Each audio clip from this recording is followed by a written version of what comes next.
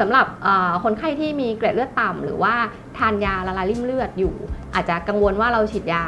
ฉีดวัคซีนได้ไหมนะคะ ก็จริงๆเราสามารถฉีดได้ แต่ว่าขอให้แจ้งบริเวณจุดที่ฉีดว่าเรามีโรคประจำตัวหรือว่าเราทานยาอะไรอยู่บ้าง ถ้าคนไข้ที่มีเกล็ดเลือดต่ำหรือว่ามีทานยาละลายริ่มเลือดอยู่เนี่ย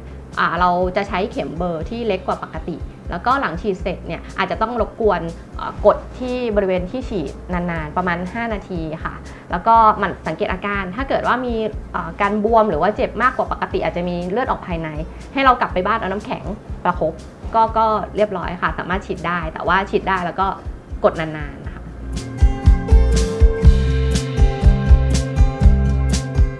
สำหรับคนไข้ที่ทานวาฟารินจริงๆ อาจจะต้องอปรึกษาคุณหมอก่อนว่าระดับยาเนี่ยอยู่ในระดับที่มันไม่ได้เกินไปอะค่ะถ้าระดับยาอยู่ในระดับที่เหมาะสมเนี่ยสามารถฉีดได้ใช้เข็มเบอร์เล็กแล้วก็กดนานๆเหมือนกัน